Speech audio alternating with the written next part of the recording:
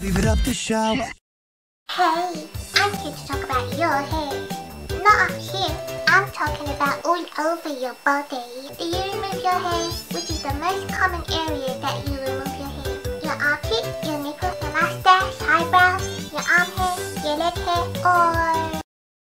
If you know what I'm saying. I wouldn't say I'm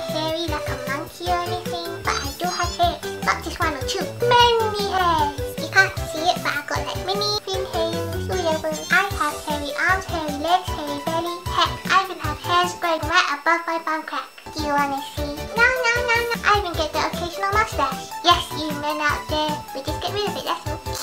Now let's get to the topic of pubic hair, shall we? It's okay to grow out your pubic hair. A mini afro is okay, but once it reaches down to your knees, you won't be able to wear your panties comfortably, I'm afraid. To answer your question, curious pervert, I don't wax my downstairs. I trim it like a tree. Yes.